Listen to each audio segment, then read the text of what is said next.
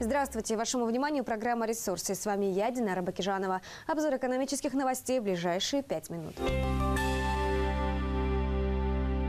«Газтрансойл» с 1 апреля этого года повышает тариф по перекачке нефти на экспорт. Об этом сообщила пресс-служба компании.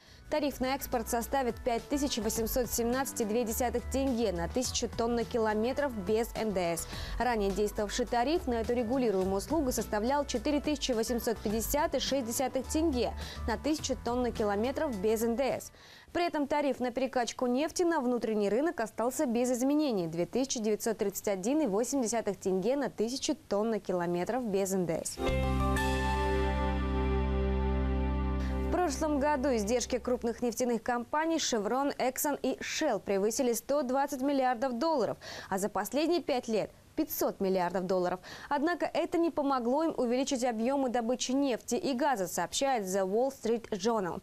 Ожидается, что на этой неделе все три компании объявят о снижении прибыли в 2013 году, несмотря на то, что цены на нефть были высокими. Тем не менее, пока для Chevron, Exxon и Shell не все так плохо. По оценкам аналитиков, их совокупная прибыль в 2013 году может достигнуть 70 миллиардов долларов.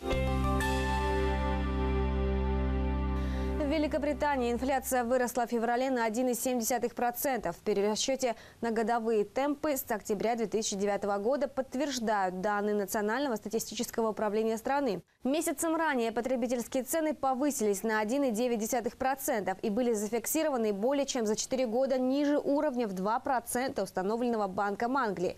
Динамика показателя в феврале оправдала ожидания экспертов, опрошенных Bloomberg.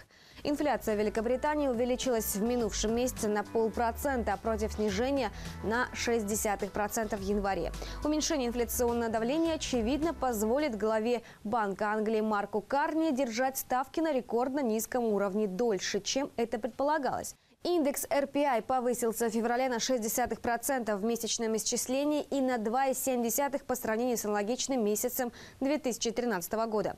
Данный индикатор служит ориентиром для британских владельцев компании при фиксации заработной платы.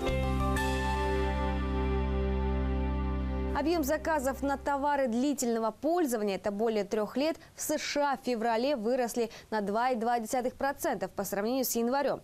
Об этом свидетельствуют данные Министерства торговли США. Аналитики, опрошенные агентством Bloomberg, в среднем прогнозировали повышение показателя на 0,8%.